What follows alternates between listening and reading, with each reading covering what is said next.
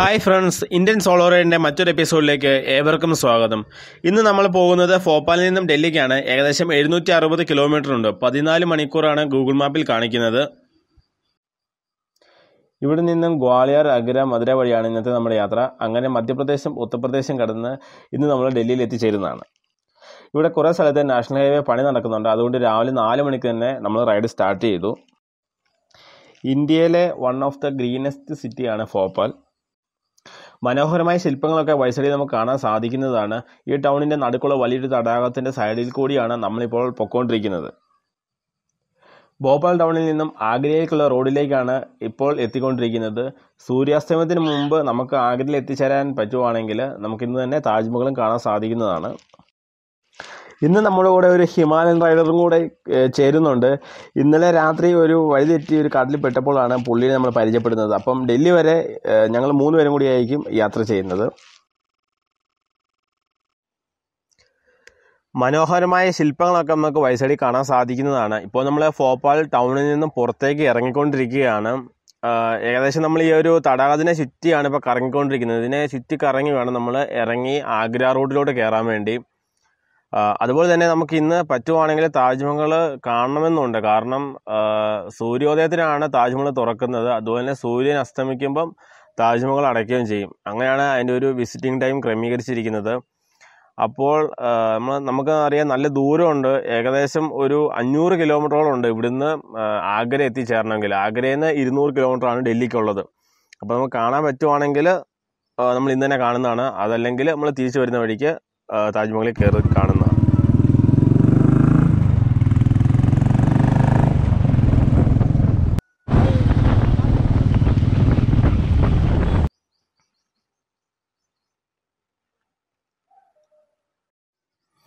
ആ തടാകം വലിയൊരു തടാകമാണ് നമ്മളിപ്പം കുറച്ച് ഭാഗം പുറത്തുകൂടെ കറങ്ങി വീണ്ടും വന്നപ്പോൾ നമ്മൾ ആ തടാകത്തിൻ്റെ മറ്റൊരു സൈഡിലാണ് നമ്മൾ എത്തിയിരിക്കുന്നത്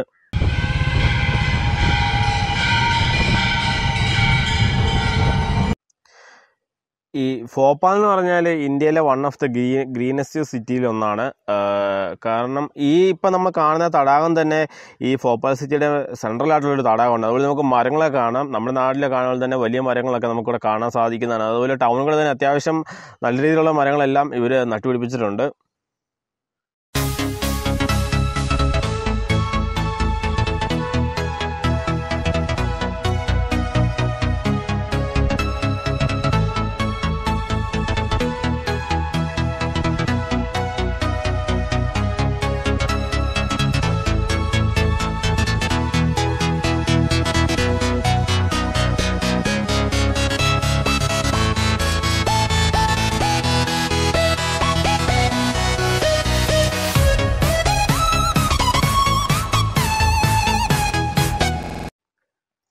നമ്മൾ ഇന്നലെ വന്നപ്പോഴും ഈ കാണുന്ന പോലെ നമ്മൾ ഇഷ്ടംപോലെ തേക്കുമരങ്ങൾ കണ്ടായിരുന്നു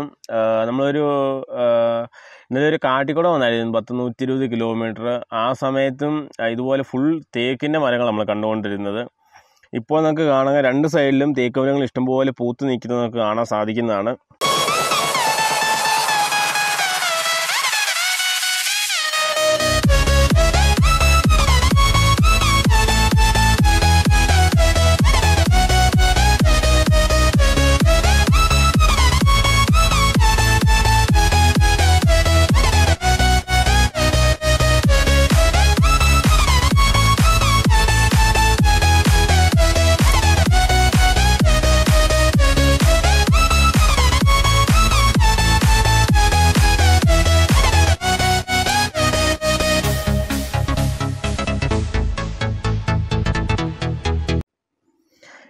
സമയം ഏകദേശം ഒൻപതരയായി ഞങ്ങൾ ചെറിയൊരു ധാബ കണ്ടിട്ടുണ്ട് അപ്പം ഇനി എന്നാൽ ഭക്ഷണം കഴിച്ചിട്ട് യാത്ര തുടങ്ങാമെന്നാണ് പ്ലാൻ ഇവിടങ്ങളിലെല്ലാം ഇതുപോലെ ധാബകളാണ് നമുക്ക് കൂടുതലും കാണാൻ സാധിക്കുന്നത് നമ്മുടെ നാടിനെ പോലെ വലിയ ഹൈ സെറ്റപ്പിലുള്ള ഹോട്ടലൊന്നും നമുക്ക് കാണാൻ സാധിക്കത്തില്ല നമ്മൾ എപ്പോൾ ചെന്നാലും അപ്പോൾ തന്നെ ആണ് ഇവർ നമുക്ക് വേണ്ട ഭക്ഷണം പാകം ചെയ്ത് തരുന്നത് ഇവിടുത്തെ പഴയ ഹെഡ് കോൺസ്റ്റബിളും ഒരു ആർമി ഉദ്യോഗസ്ഥനുമാണ് ആ കാണുന്നത് ഈ കാണുന്നത് നമുക്ക് വേണ്ടി ഭക്ഷണം പാകം ചെയ്യുന്നതാണ് മെയിനായിട്ട് ഇവിടെയെല്ലാം നമുക്ക് കിട്ടുന്നത് റൊട്ടി ആയിരിക്കും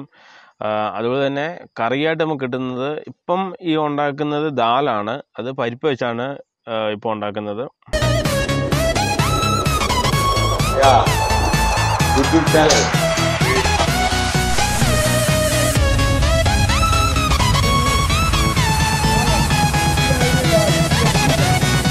ഭക്ഷണം കഴിച്ച് ഞങ്ങൾ യാത്ര തുടർന്നു ഇവിടുത്തെ ക്രഷർ യൂണിറ്റുകളാണ് വഴിയുടെ ഇരുവശവും നമുക്ക് കാണാൻ സാധിക്കുന്നത് നമ്മുടെ നാട്ടിലേതുപോലെ മലകളൊക്കെ കുറവായതിനാൽ നേരുന്ന സ്ഥലങ്ങളിൽ തന്നെയാണ് ഇവിടുത്തെ ക്രഷർ യൂണിറ്റുകൾ പ്രവർത്തിക്കുന്നത്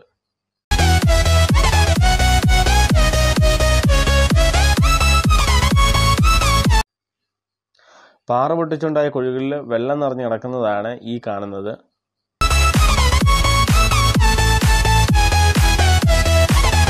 പലതരത്തിലുള്ള ട്രാക്ടറുകൾ നമുക്കിവിടെ കാണാൻ സാധിക്കുന്നുണ്ട് ഈ കാണുന്നത് വിത്ത് നടുന്ന ഒരു ട്രാക്ടറാണ് ആ കാണുന്ന ചെറിയ ഓസ് നാട് കിടക്കുന്ന നമുക്ക് കാണാൻ സാധിക്കുന്നുണ്ട് ആ ഓസ് വഴിയാണ് വിത്തുകൾ ഇറങ്ങി മണ്ണിലേക്ക് പോകുന്നത് ഈ കാണുന്നത് കുടിവെള്ളത്തിന് ഉപയോഗിക്കുന്ന കൽഭരണികളാണ് വഴിയെ ട്രാവൽ ചെയ്ത് പോകുന്നവർക്ക് കുടിക്കാനാവശ്യമായ വെള്ളം ഈ കൽഭരണികളിൽ നിന്ന് എടുത്ത് ഉപയോഗിക്കാവുന്നതാണ്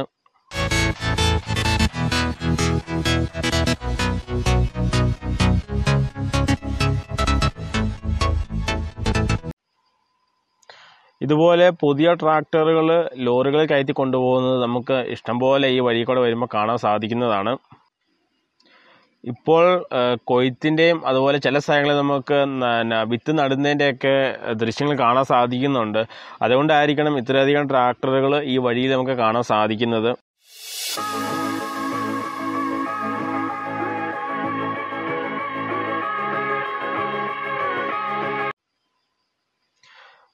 നമ്മൾ ഇനിയിപ്പം ചെറിയൊരു വർക്ക്ഷോപ്പ് നോക്കി പോവുകയാണ് ഇപ്പം മെയിൻ റോഡേ പോയി കഴിഞ്ഞാൽ ഒത്തിരി ദൂരം പോകണം നമുക്ക് വർക്ക്ഷോപ്പിൽ എത്തണമെങ്കിൽ അപ്പം ഇതുവഴി ഒരു ഇടവഴിക്ക് പോയി കഴിഞ്ഞ് കഴിഞ്ഞാൽ ഗൂഗിൾ മാപ്പിൽ ചെറിയൊരു വർക്ക്ഷോപ്പ് കാണിക്കുന്നുണ്ട് അപ്പം നമ്മൾ അവിടേക്ക് പോവുകയാണ് പക്ഷേ നമുക്ക് കറക്റ്റായിട്ടൊരു ടാറിങ് റോഡില്ല നമ്മൾ ആ മാപ്പ് നോക്കി ഇറങ്ങുന്നപ്പോൾ ഒരു മൺവഴിയാണ് കണ്ടത് പക്ഷേ ഇതുവഴി വണ്ടി പോകുന്നതെന്ന് തോന്നുന്നു കണ്ടിട്ട് നമുക്ക് ഇതുവഴി ഒന്ന് പോയി നോക്കാം എന്തായാലും നല്ല തണലുണ്ട് കാരണം നമ്മൾ മെയിൻ റോഡ് വഴി പോയപ്പോൾ നല്ല ചൂടായിരുന്നു ഇങ്ങോട്ട് ഇറങ്ങിയപ്പോൾ നമുക്ക് ചെറിയൊരു ആശ്വാസമുണ്ട്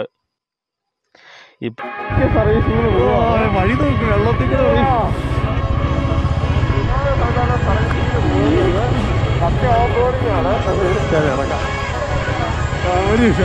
ഞാൻ ഇപ്പോൾ നമ്മൾ പോകുന്നത് ഗുന എന്നൊരു സ്ഥലത്തോട്ടാണ് അപ്പോൾ നമ്മൾ മെയിൻ റോഡിൽ നിന്ന് ഒന്നിറങ്ങി അടുത്ത ഏതോ ഒരു മെയിൻ റോഡിന്റെ അടിയിൽ കൂടെയാണ് ഇപ്പോൾ നമ്മൾ കടന്നു വരുന്നത് വിഷയമില്ല ഈ വഴി കണ്ടിട്ട് എനിക്ക് തോന്നുന്നു ട്രാക്ടറൊക്കെ പോകുന്ന വഴിയാൻ തോന്നുന്നു കാരണം ഇഷ്ടംപോലെ വെള്ളവും ചെള്ളയൊക്കെ കാണാൻ സാധിക്കുന്നുണ്ട് ഓക്കെ ഒരു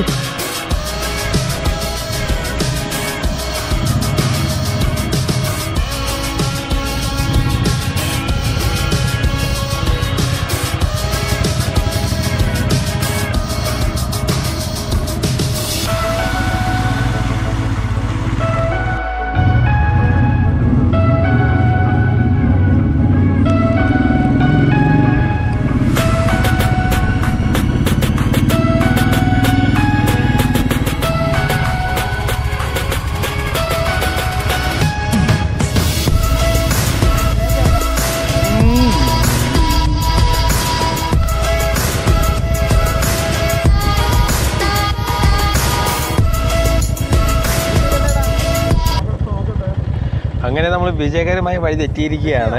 ഇനി നമുക്ക് അടുത്ത വഴി പോയി നോക്കാം ഈ സൈഡിലൊക്കെ നമുക്ക് കണ്ട ഉഴുതുമറിക്കുന്നൊക്കെ കാണാൻ സാധിക്കുന്നുണ്ട്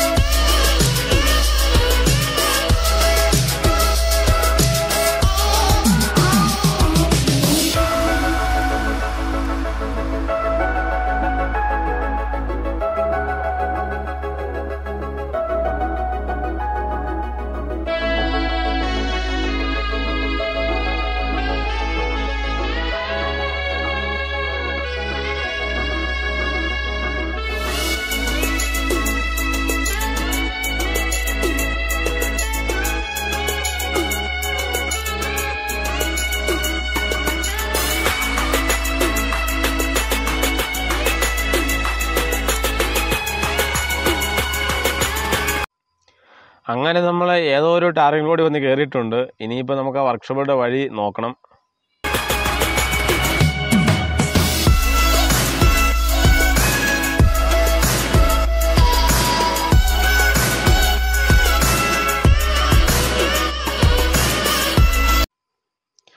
അങ്ങനെ നമ്മൾ എൻഫീൽഡിൻ്റെ ഒരു ഷോറൂമിൽ എത്തി എത്തിയേക്കുമാണ് ഷോറൂമെന്ന് പറയാമെന്ന് വെച്ചാൽ കുറച്ച് വണ്ടികളൊക്കെ ഉണ്ട് കാരണം വെച്ചാൽ ഇന്നലെ ഹിമാലയൻ്റെ ചെയിൻ ടൈറ്റ് ചെയ്തപ്പം അറിയാൻ പാടില്ലാത്ത ഒരാളും ടൈറ്റ് ചെയ്തപ്പം ടയർ വെട്ടി തിരിഞ്ഞു അതുകൊണ്ട് നമ്മൾ ഒന്നുകൂടി ഒന്ന് ചെക്ക് ചെയ്യാൻ വേണ്ടി വന്നതാണ് അതുപോലെ എൻ്റെ വണ്ടിയുടെ ക്ലച്ച് കേബിൾ ഇച്ചിരി ടൈറ്റാണ് അതും ഒന്ന് മാറണം പിന്നെ ഇവിടെ കാണാൻ പറ്റുന്ന പ്രത്യേകം വെച്ചാൽ ഇവിടെ വന്നിരിക്കുന്നതിൽ ഇപ്പം നമ്പർ പ്ലേറ്റ് കണ്ടത് ഒരു വണ്ടിക്ക് ആ വണ്ടിയുടെ നമ്പർ പ്ലേറ്റ് വെച്ചാൽ രണ്ട് ജില്ല രജിസ്ട്രേഷനും വെച്ചിട്ടുണ്ട് അതുപോലെ ബാക്കി വണ്ടിക്കൊക്കെ നമ്പർ പ്ലേറ്റിന് അവിടെ ഓരോ പേരുകളൊക്കെയാണ് വെച്ചിരിക്കുന്നത് അത് ഇതുണ്ടോ ഈ വണ്ടിയൊക്കെ കണ്ടോ ഇരിക്കുന്നത് ദാദാ ടാക്കൂർ ഇതുണ്ടോ യുദ്ധത്തിൽ ഇന്ത്യ ആർമിനെ കീഴിട്ടുണ്ട് ശരിക്കും ആർമിക്കാരുടെ വണ്ടിയൊന്നും അല്ല നമ്മൾ ഇതുപോലെ ഇടയ്ക്ക് വരുമ്പോൾ ചില വണ്ടികളെ കാണാം പോലീസ് എന്നൊക്കെ പറഞ്ഞ് എഴുതി വെച്ചേക്കുന്നത് ഇന്ന് പറഞ്ഞ പോലെ എഴുതി വെച്ചേക്കുന്നതാണ്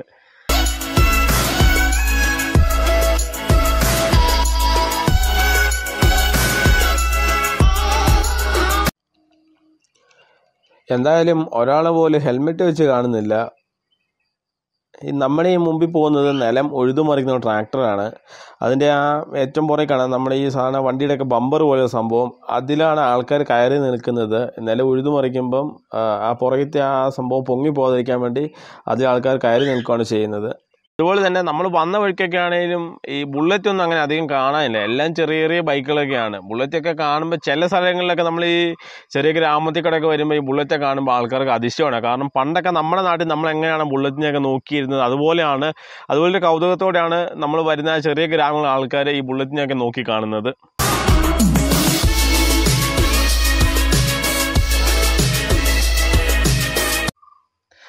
അങ്ങനെ നമ്മൾ ആ ടൗണിൽ നിന്ന് പുറത്തിറങ്ങി നമ്മൾ മെയിൻ റോഡിൽ വന്നു അപ്പം നല്ല വെയിലാണ് ഇപ്പോൾ ഉച്ച ഉച്ച സമയമാണ് അപ്പം എന്തായാലും കുറച്ചു നേരം വിശ്രമിക്കാമെന്ന് ഓർത്ത് ഒരു ക്ഷേത്രത്തിൻ്റെ സൈഡിൽ കയറിയതാണ് അപ്പോൾ അവിടെ നല്ലൊരു നെൽപ്പാടം കണ്ടു ഞാൻ പതുക്കെ ആ നെൽപ്പാടത്തിലേക്കൊന്ന് ഇറങ്ങി നോക്കാമെന്ന് വെച്ച് ഈ പാടത്തെ ഒരു സൈഡിൽ കൊയ്ത്ത് കഴിഞ്ഞിട്ടുണ്ട് ഇപ്പം നിൽക്കുന്നത് കൊയ്യാറായി നിൽക്കുന്ന നെൽക്കതിരുകളാണ് കൊയ്ത്തൊഴിഞ്ഞ പാടങ്ങളിൽ കാലികളെ മേക്കി നമുക്ക് കാണുവാൻ സാധിക്കുന്നുണ്ട് ഇതിൻ്റെ അപ്പുറ സൈഡിൽ വലിയൊരു തടാകം കാണുന്നുണ്ട് ഞാൻ അങ്ങോട്ട് പോകാൻ പറ്റുമെന്ന് നോക്കി ഇറങ്ങിയതാണ് പക്ഷേ ഈ ഭയങ്കര ഈ നെൽപ്പാടം കഴിഞ്ഞ് വേറെ എന്തോണം നട്ടിരിക്കുന്നത് നമുക്ക് അതിൻ്റെ അകത്തൂടെ പോകാൻ ഭയങ്കര ബുദ്ധിമുട്ടാണ് കാരണം കറക്റ്റ് വഴിയൊന്നും കാണുന്നില്ല പിന്നെ ഉദ്ദേശിച്ചേക്കാൾ നല്ല ദൂരമുണ്ട് അതുകൊണ്ട് ഞാൻ പിന്നെ പതുക്കെ ഇങ്ങ് തിരിച്ചു പോകുന്നതാണ്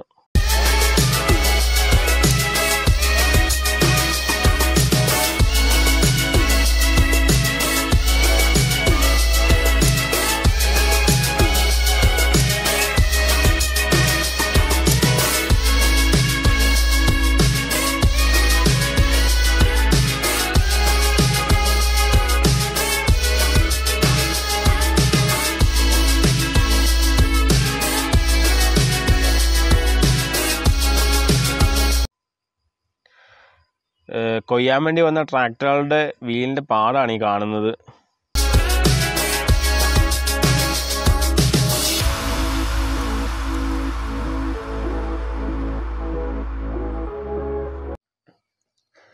ഈ പാടത്തിനപ്പുറത്ത് വലിയൊരു തടാകമുണ്ട് അങ്ങോട്ട് പോകാൻ വേണ്ടിയിട്ട് ഞാൻ ശരിക്കും ഇറങ്ങിയത് പക്ഷേ കുറേ ദൂരം നടന്നു വഴിയിൽ നിന്ന് കണ്ടതിനേക്കാളും നല്ല ദൂരമുണ്ട് അതുകൊണ്ട് ഇനിയിപ്പോൾ എന്തായാലും തിരിച്ചു പോവുകയാണ് ഞങ്ങൾ കുറച്ച് നേരം റെസ്റ്റ് എടുക്കാൻ വേണ്ടി നിർത്തിയതാണ് ഇപ്പോൾ ഒരു അരമണിക്കൂറോളമായി ഞാൻ ഇറങ്ങിയിട്ട് ഇനി കുറച്ച് ദൂരം കൂടെ പോകാനുണ്ട് ഇപ്പോൾ ഒത്തിരി നടന്നാലും ക്ഷീണിക്കും അതുകൊണ്ട് എന്തായാലും തിരിച്ച് പോവുകയാണ്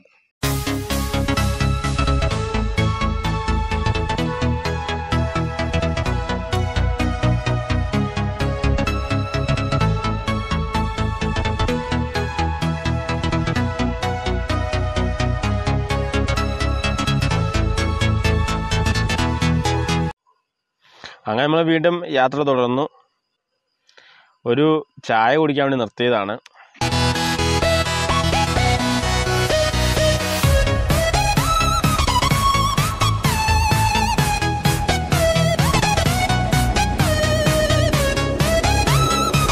ഇവിടെ അയച്ച് ഇട്ടിരിക്കുന്നത് ഇതിനകത്ത് ആ മേളിൽ ഒരു ബോക്സ് പോലെ ഒരു പാട്ടും കാണാൻ സാധിക്കും ഞാൻ തുറന്ന് കാണിക്കാം ഇതിൻ്റെ അകത്താണ് ഇവർ വിത്തിട്ടിട്ട് നടുന്നത് അതായത് ഇതിനകത്ത് വിത്തിട്ട് കഴിയുമ്പോൾ ഇതുവഴി കണക്ട് ചെയ്തേക്കുന്ന താഴോട്ട് ഓസ് കണക്ട് ചെയ്തിട്ടുണ്ട് ആ ഓസ് വഴി വിത്ത് ഇറങ്ങി പോകുന്നതാണ് അതിൻ്റെ അകത്ത് കാണുന്ന ആ ഹോളിക്കോടെ ചെറിയൊരു പൽച്ചക്രം പോലെ സംഭവമാണ് അപ്പം കുറച്ച് കുറച്ച് വിത്ത് അതുവഴി ഇറങ്ങി ഇറങ്ങി പോകുന്നതാണ് പൽച്ചക്രം കറങ്ങി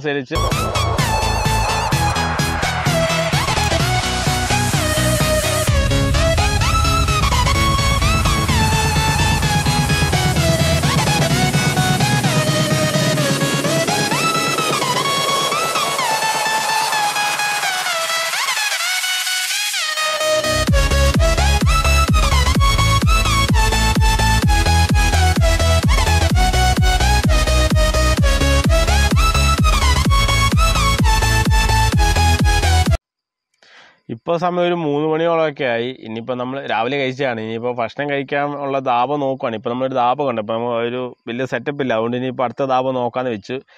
ഇതുപോലെയുള്ളൊരു മൺവഴിയിലാണ് ഇന്നലെ കയറിയത് അതിന് ശേഷമാണ് വഴിതെറ്റി നമ്മൾ പോയത് കാരണം നോർമലി നാഷണൽ ഹൈവേ പോകുന്നത് ടൗൺ ഒന്നും ടച്ച് ചെയ്യാതെയാണ് പോകുന്നത് അപ്പം നോർമലി നമ്മൾ വന്ന വഴിക്ക് ഒരു ബേട്ടൂൾ എന്ന് പറഞ്ഞൊരു ടൗൺ ഉണ്ടായിരുന്നു അപ്പോൾ അങ്ങോട്ട് ഒരു അഞ്ച് കിലോമീറ്റർ കാണിച്ചിട്ടുണ്ട് ഇതുപോലെ ഒരു മൺവഴിയായിരുന്നു അപ്പോൾ നമ്മൾ വിചാരിച്ചിരുന്ന ടൗണിലുള്ള വഴിയാണെന്ന് വിചാരിച്ചേ നേരെയാണെങ്കിൽ ഒരു പാത ഉണ്ടായിരുന്നു ആ പാത കൂടെ കയറി വന്നു പക്ഷേ കുറേ കഴിഞ്ഞത്തേരും പാത എല്ലാം പോയിട്ട് ഒരു വരിയായി പിന്നെ സാധാരണ നമ്മൾ ഇടുക്കി കാടൊക്കെ വരുന്ന ഒരു വഴി പോലെ കാടിനകത്തുള്ള കറക്റ്റ് കാട് അതിനകത്തുള്ള വഴിയായിരുന്നു ആൾക്കാരോ അങ്ങനെയൊന്നുമില്ല ഒരു പത്ത് നൂറ്റി ഇരുപത് കിലോമീറ്ററോളം ഫുൾ കാടും അതുപോലെ തന്നെ ഒരു എന്താ ഒരു ഒറ്റപ്പെട്ട ഒരു മേഖല പോലെ ഒരു സ്ഥലമായിരുന്നു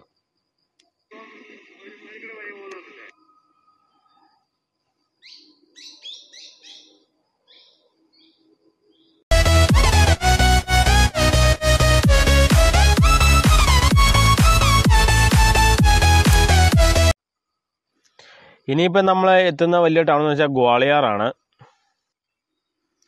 ഇപ്പോൾ നമുക്ക് സൈഡിൽ എഞ്ചിനീയറിംഗ് കോളേജൊക്കെ കാണാൻ സാധിക്കുന്നുണ്ട്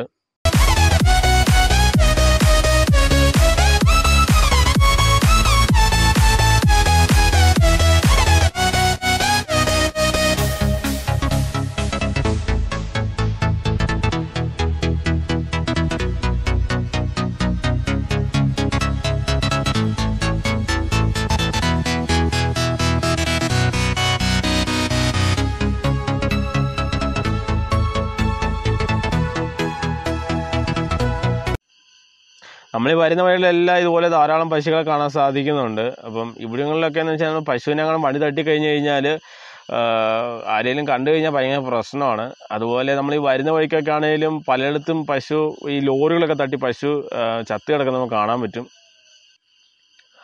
അതുപോലെ വണ്ടി വരുന്ന കണ്ടാലും പശുക്കളൊന്നും മാറത്തില്ല നമ്മൾ വേണമെങ്കിൽ വഴി മാറിപ്പോക്കണം ആ രീതിയിലാണ് പശുക്കളൊക്കെ വരുന്നത്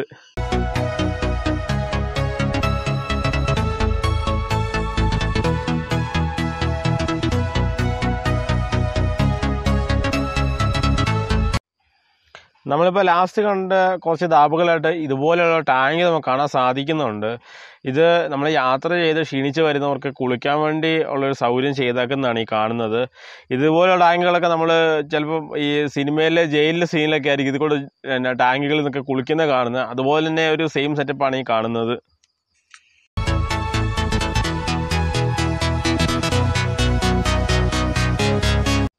ഈ ദാബകളെല്ലാം ഇതുപോലെ വള്ളിക്കട്ടിലുകൾ വള്ളിക്കട്ടിലുകളാണ് കാണാൻ സാധിക്കുന്നത് ഇവിടെ ഇതിന് എന്ത് പേരാ പറയുന്നതില്ല നമ്മുടെ നാട്ടിലൊക്കെ പണ്ടൊക്കെ ഇതിന് പറഞ്ഞുകൊണ്ടിരുന്നത് വള്ളിക്കട്ടിൽ നിന്നൊക്കെയാണ് അപ്പോൾ ഇതുപോലെ വള്ളിക്കട്ടിലിന് നടക്ക ഒരു പലക വെച്ചിട്ടുണ്ടായിരിക്കും ആ പലകയിലാണ് ഭക്ഷണം വെക്കുന്നത് എന്നിട്ട് ഇതിൻ്റെ രണ്ട് വശങ്ങളിലുമായിട്ടിരുന്നാണ് ഭക്ഷണം കഴിക്കുന്നത് ഭക്ഷണം കഴിച്ചതിന് ശേഷം നമുക്ക് വേണമെങ്കിൽ ഈ വള്ളിക്കട്ടിൽ കിടക്കാവുന്നതുമാണ് പണ്ടൊക്കെ നമ്മുടെ നാട്ടിൽ കണ്ടിട്ടുണ്ടായിരിക്കും ഇതുപോലെ ചാണകം ഉണങ്ങിയ ചാണകം കത്തിക്കുന്നത് കൊതുകിനെ അകറ്റാൻ വേണ്ടി ഈ കാണുന്നതും അതുപോലെ ചാണക പറലുകൾ കത്തിക്കുന്നതാണ് ഈ കാണുന്നത് കൊതുകിനെയൊക്കെ അകറ്റാൻ വേണ്ടി ഇവിടുത്തെ കൃഷി ആവശ്യങ്ങൾക്ക് ഉപയോഗിക്കുന്ന ഒരു കിണറാണെന്ന് കാണുന്നത് അതിന് അടുത്തൊരു ഡീസൽ മോട്ടോർ ഇരിപ്പുണ്ട് ആ ഡീസൽ മോട്ടറിൻ്റെ ഓസ് പോകുന്നത് നേരെ ആ കൃഷിയിടത്തിലേക്കാണ് പോകുന്നത്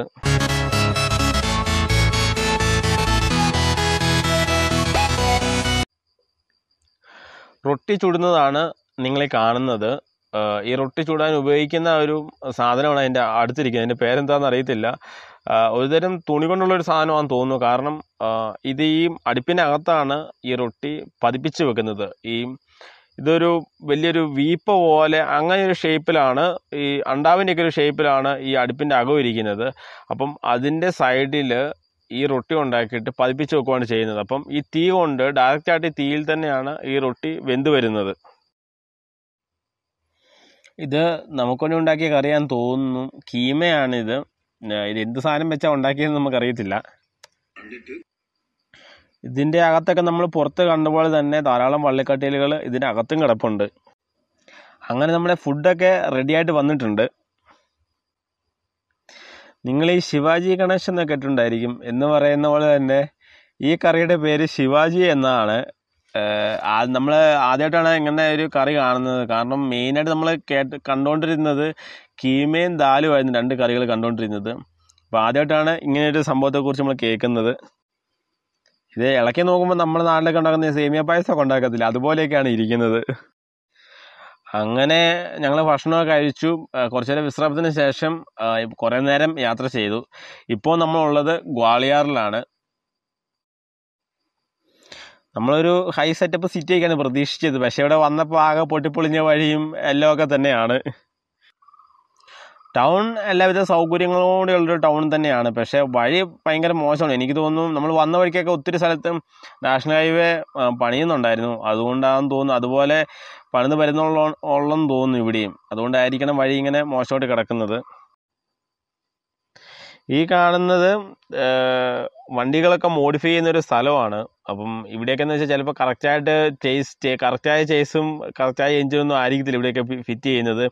ചിലപ്പോൾ പോയ പല വണ്ടികളിലെ ചേസും പല വണ്ടികളെ എഞ്ചിനൊക്കെ മിക്സ് ചെയ്താണ് ഇവിടെ ചിലപ്പോൾ വണ്ടികളൊക്കെ ഉണ്ടാക്കിയെടുക്കുന്നത് അങ്ങനെ വർക്ക്ഷോപ്പിൽ അവരുമായിട്ട് ഒന്നിച്ചിരുന്ന് ഭക്ഷണമൊക്കെ കഴിച്ചു അവർ ഞങ്ങൾക്ക് മേടിച്ച് തന്നതാണ് ഇതിൻ്റെ പേര് മൂൺ പക്കോറ എന്നാണ്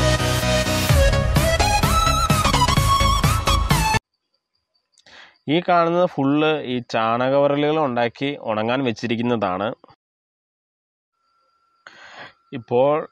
സമയം വെളുപ്പിനെയായി നമ്മൾ കുറച്ചു നേരം രാത്രി ഒരു വയസ്സുള്ള ഒരു വെയിറ്റിംഗ് ഷെഡിൽ കിടന്ന് വിശ്രമിച്ചു അതിനുശേഷം വീണ്ടും യാത്ര തുടങ്ങിയതാണ് ഇപ്പം വെളുപ്പിന് ഒരു മൂന്ന് മണി ഒക്കെ ആയിട്ടുണ്ട് ഇനിയിപ്പോൾ ഇവിടുന്ന് ഡൽഹിക്ക് മുന്നൂറ്റി അൻപത് കിലോമീറ്റർ കൂടി ഉണ്ട് അപ്പം നമുക്ക് വഴിയൊക്കെ കുറേ മോശമായിരുന്നത് കൊണ്ട് നമ്മൾ ഉദ്ദേശിച്ച പോലെ ദൂരെ നീങ്ങിയില്ല അങ്ങനെ വീണ്ടും അടുത്ത ദിവസം രാവിലെയായി ഒരു കാളവണ്ടിയുടെ പിൻഭാഗം അഴിച്ചു വെച്ചിരിക്കുന്നതാണ് ഈ കാണുന്നത്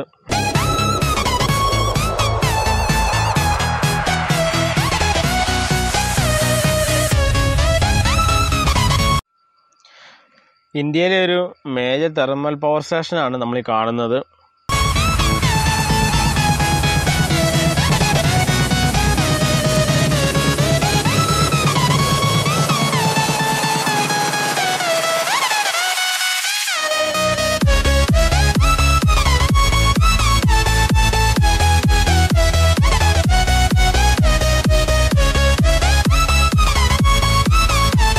പുല്ലുവർഗത്തിൽപ്പെട്ട ചെടിയാണ് നമുക്ക് വരുന്ന സൈഡിലൊക്കെ ഇഷ്ടംപോലെ നിൽക്കുന്നതാണ് എന്താ സംഭവം അറിയത്തില്ല അങ്ങനെ നമ്മൾ ഏകദേശം ഡൽഹി എത്താറായി അങ്ങനെ നമ്മൾ ഡൽഹി എത്താറായി ഫുൾ പുകമഞ്ഞാണ് ഇപ്പം ഡൽഹിയിലെ ഏറ്റവും മലിനീകരണത്തിൻ്റെ തോത് കൂടി നിൽക്കുന്ന സമയമാണിത്